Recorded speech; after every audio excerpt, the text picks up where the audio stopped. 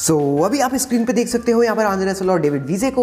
तो आओ यार जल्दी से इन दोनों के बीच एक हेल्दी कंपैरिजन कर लेते हैं। तो एक प्लेयर है जमेका का जो कि जमेकन क्रिकेटर है। तो एक है नाबीबिया का जो कि नबीबियन क्रिकेटर है। अब कौन सा है बेस्ट स्टेट्स कंपेयर करते हैं और एक एक पॉइंट इनको डिवीज़न वाइज करते हैं। फिर लास्ट में बताएँगे कि कौन सा प्लेयर है जॉट प्लेयर डेविड वीजे आईपीएल के अंदर यहाँ पर केवल एक सीज़न खेले हैं जो कि दो हज़ार चौदह से सोलह थे। साठ लाख के अंदर वो बिके थे। और इसके अलावा अगर बात करें तो सत्रह से वो खेले नहीं। वहीं अगर आंध्र रसल की बात करें तो पहले उनकी प्राइस थी यहाँ पर साढ़े करोड़ रुपए बट इस सीज़न के लिए उनकी प्राइस होने वाली है बारह करोड़। तो यहाँ पर प्राइस मामले में जीत जाते हैं। Andre Russell T twenty international की बात करें तो आंध्र रसल ने 67 मुकाबले खेले हैं, जिसमें बनाए हैं 741 रन एवरेज 19.5 के साथ डेविड वीजे को पीछे छोड़ते हुए यहाँ पर दोस्तों 43 मुकाबले डेविड वीजे ने खेले हैं 562 रन बनाए हैं 26.8 की एवरेज बैटिंग के अंदर डेविड वीजे आंध्र रसल से टॉप पर है।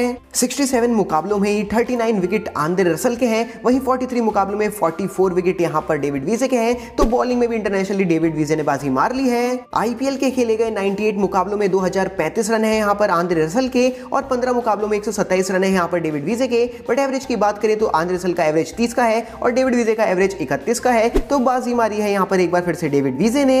98 आईपीएल मुकाबलों के अंदर 89 विकेट आंध्र रसल के हैं, बट उसको पछाड़ते हुए 15 मुकाबलों में 16 विकेट लिए हैं यहाँ पर डेविड वीजे ने। तो हर एक एस्पेक्ट के अंदर आपने देखा कि डेविड वीजे काफ़ी ज़्यादा आगे हैं आईपीएल के अंदर। आंध्र रसल से आई होप कि ये दोनों ही प्लेयर अपनी टीम के के लिए काफ़ी अच्छी परफॉर्मेंस करे। अब आप किस प्लेयर का ऐसे फास्ट कंपेरिजन चाहते हो आईपीएल साल 2023 के सीज़न के लिए, जल्दी से नीचे कमेंट करके वीडियो को लाइक और शेयर भी ज़रूर कर देना और चैनल को भी ज़रूर सब्सक्राइब कर देना।